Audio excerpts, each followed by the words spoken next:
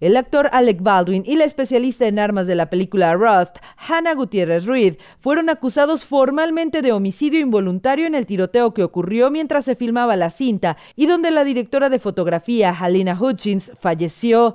La fiscal de distrito de Santa Fe presentó los documentos acusatorios que nombran a Baldwin y a Gutiérrez Reed como responsables de homicidio involuntario, delito que se persigue de oficio. Ambos acusados han manifestado ser inocentes, por lo que prometen luchar en contra de estos cargos que les atribuyen las autoridades de Nuevo México. Hasta el momento, el abogado de Baldwin, Luke Naikas, se negó a comentar sobre el caso y solo calificó los cargos como un terrible error judicial que él y su cliente pelearán hasta ganar y demostrar su inocencia, mientras que el abogado de Gutiérrez Reed dijo que publicaría una declaración más adelante.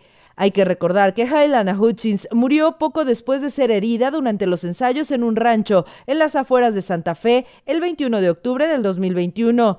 Baldwin estaba apuntando con una pistola a Hutchins cuando se disparó, matándola en el acto e hiriendo de gravedad al director Joel Sousa.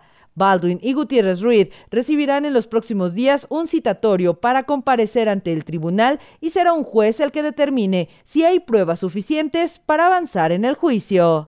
Espectáculos Noti 13, Katia Plasencia.